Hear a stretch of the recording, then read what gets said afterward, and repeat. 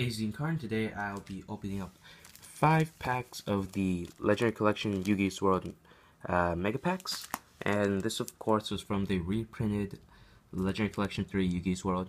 I picked one of those ops, uh, but decided to, like, you know, discard the box and stuff, or at least not include in the video, since uh, I figured it'd be quicker to just get the packs ready.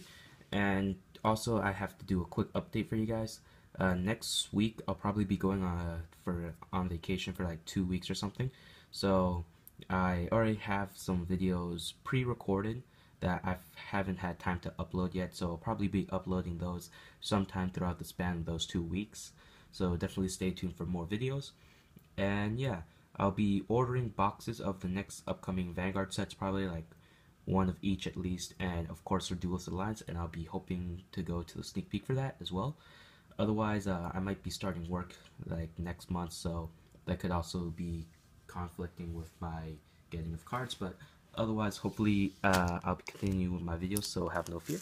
So let's go ahead and get started. So of course, all of these packs are unlimited, but seeing as how much the first editions were going for on eBay, these were pretty good alternatives as opposed to paying the crazy prices. And I don't think there's any necessarily a trick for this, so we'll just go through all the cards. So we have a Mystic Box, Horus the Black Flame Dragon level 6, Black Magic Ritual, our rare is Toon World, Ultra Rare Smashing Ground, pretty cool, Secret Rare 7 Tools of the Bandit, very nice, so very good card still, Super Rare is Gravity Bind, and to finish off for our commons we have Dark Horse and Earth Chant. Next pack.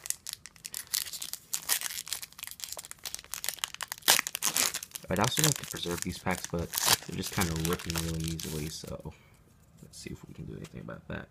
So we have Mystic Swordsman level 6, King of the Swamp, Contract with the Dark Master, our rare is Acid Trap Hole, Ultra Rare Silverfang, one of these old school cards, Secret Rare Mystical Space Typhoon, very nice, beautiful card to get. Super Rare Raigeki Break, still being played in quite a few decks, I believe, especially if you want to discard any cards. Uh, Nimble Momonga and Magic Formula. I don't know why, but the secret rare for this card is going for quite a bit. So, yeah, if you guys know why, please leave it in the comment down, section down below. Otherwise, I mean, really, it doesn't do much except power up your Dark Magician, I believe, and Dark Magician Girl. And unless that deck is topping, I don't think it's really doing much right now.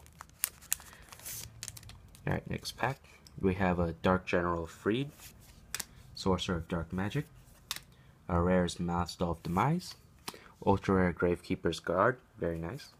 Secret Rare UFO Turtle, so all the like destroyed by battles and special summons below uh, 1500 attack or lower kind of monsters in the set are all secret rare, I believe.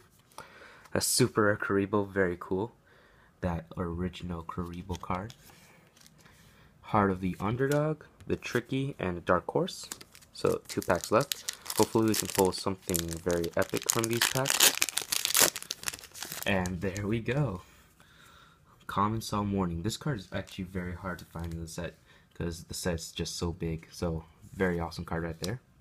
Dark Sage. A rare is Toon Masked Sorcerer. Another ultra rare Smashing Grab. Kind of wish we got something else. Secret Rare Mirror Force, so we're getting quite a lot of the good staples. Super Rare Reckless Greed. I believe this card is also being played quite frequently. The Tricky. Um, Manju of the 10,000 Hands for those ritual decks. And Charm Shabti. Last pack. Here we go. And we start this pack off with Green Baboon, Defender of the Forest. Gamma the Magnet Warrior. Rare Blue Eyes Toon Dragon. That Blue Eyes. Ultra Rare Monster Reborn, very nice. Hopefully this will come off the ban list so the prices will go up.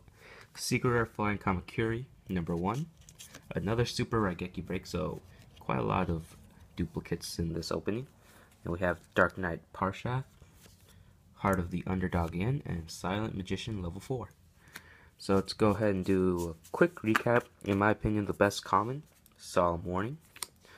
For the rares, we got Blue Eyes Toon Dragon, Toon Masked Sorcerer, Malice Demise, Acid Trap Hole, and Toon World. So quite a lot of those Toons right there.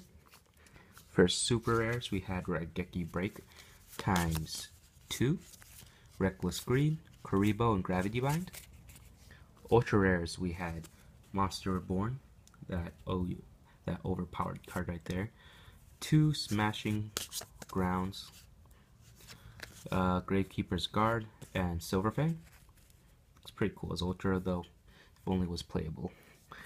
And for our secret rares, we had Flying Kamakiri number 1, Mirror Force, very nice, UFO Turtle, Mystical Space Typhoon, very nice, another nice card as well in the set, and 7 Tools of the Bandit to end this off.